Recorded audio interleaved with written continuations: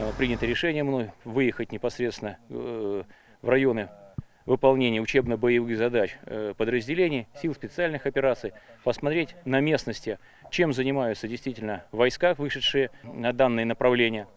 Заслушаны командир бригады, одной из э, бригад, которые вышли, э, командиры батальонов, посмотрел их решение, насколько оно приземленное, насколько оно целесообразное, чем занимается личный состав, настрой этого личного состава, вопросы тылового обеспечения и, и других видов обеспечения. Ну, хочу сказать, что есть понимание у командиров, э, и у командира бригады, и у командиров батальонов, да и у личного состава. Высокий моральный дух, вот, понимание, для чего они сюда вышли, для чего это все нужно.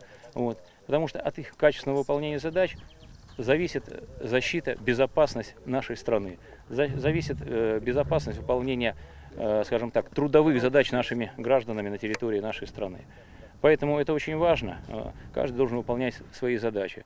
Поэтому, да, личный состав вышел, естественно, с боевым оружием, с боеприпасами.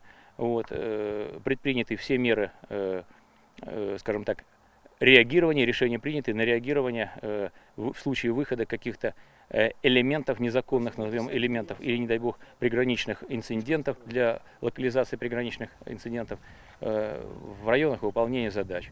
Хочу отметить, говорю, хорошую подготовку наших военнослужащих, понимание, говорю, целеустремленность и, говорю, желание сделать все для защиты и безопасности э, нашей страны.